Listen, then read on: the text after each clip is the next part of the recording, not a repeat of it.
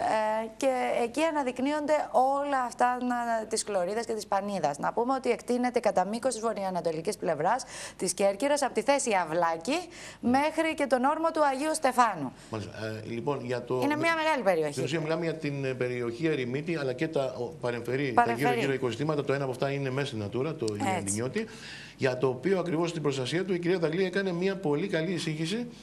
Και σήμερα θα μείνουμε σε αυτό. Να κάνουμε μόνο μια παρένθεση ότι μέσα στο οικοσύστημα ανήκει και το ε, Καπαρέλι, το οποίο είναι μια περιοχή που ε, λόγω της έτσι, φυσικής της ε, είναι πολύ πλούσιο, πλούσιο ναι. και ε, κάποιο συμφέρει να γίνονται εκεί χθιοτροφία.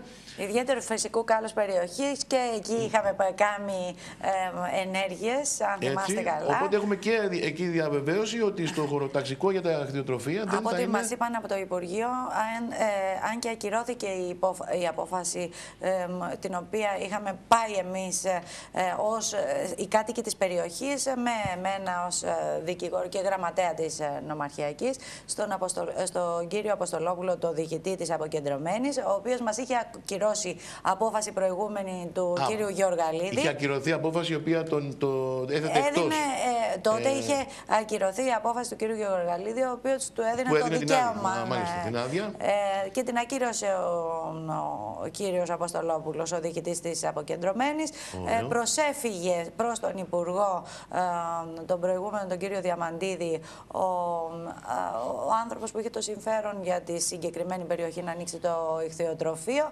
Ε, και βέβαια ε, ακύρωσε την απόφαση του Αποστολόπουλου.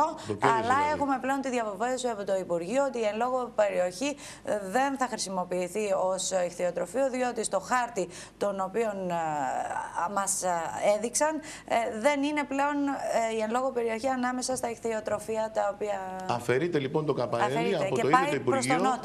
Αφαιρείται από χωροταξικής άποψης για αυτή τη δραστηριότητα. Ακριβώς, πάει προς τον Νότο. Άλλο ένα αισιόδοξο μήνυμα για, που έτσι βοηθάει και, επί, και καταστήνει και φόρους στους αγώνες των οικολογικών οργανώσεων. Γι' αυτό, γι αυτό και πρέπει